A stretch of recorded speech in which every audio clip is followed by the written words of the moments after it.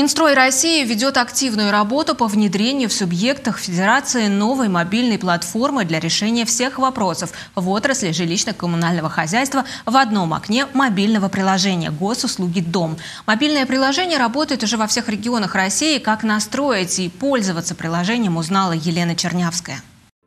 Приложение госуслуги «Дом» – это возможность быстро оплачивать счета ЖКХ, передавать показания счетчиков и общаться с управляющей компанией. По сути, это решение всех вопросов ЖКХ в одном приложении. Госуслуги «Дом» – приложение для собственников жилья в многоквартирных домах. Оно работает в пилотном режиме уже в 17 регионах России. Пользователи уже оценили удобство функционала приложения и отметили эффективность решения жилищно-коммунальных вопросов благодаря его использованию. Одной из главных функций данного приложения является сбор показаний приборов учета и оплата счетов за жилищно-коммунальные услуги в одном приложении.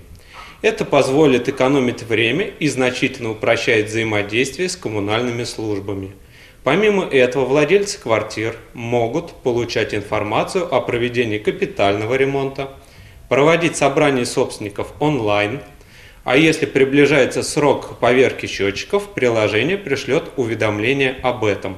Таким образом, данный сервис отвечает запросам всех пользователей, как собственников квартир, так и управляющих организаций, а также государственных жилищных инспекций и органов власти. Удобство приложения оценили уже около 500 тысяч россиян. С помощью сервиса собственники квартир могут оперативно подавать заявки в управляющую организацию, ресурсснабжающие организации, региональные операторы, органы местного управления, государственную жилищную инспекцию, а также получать обратную связь изучать отчеты по доходам и расходам э, управляющей организации за прошлый год, получать информацию о сроках капремонтах и запланированных работах а также при необходимости направлять обращения в ресурсоснабжающие организации и жилищную инспекцию. Вся необходимая информация ЖКХ в одном приложении – все это госуслуги «Дом». О преимуществах работы приложения председатели многоквартирных домов узнают в рамках семинаров «Мой дом», которые проходят во всех внутригородских районах Самары. Сейчас, благодаря проекту «Мой дом», а, доля собраний, проводимых в онлайн-формате, достигла 30%. Это хороший показатель,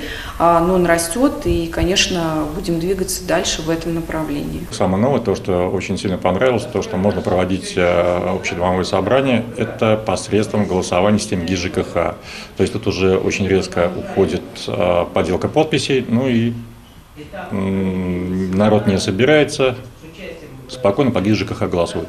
Что-нибудь знаете уже о приложении госуслуги Пока нет, не слышал. Надеюсь, сегодня получу какую-то полезную информацию в сравнении, что такое ГИС ЖКХ и дом, госуслуги дом, где лучше, где хуже.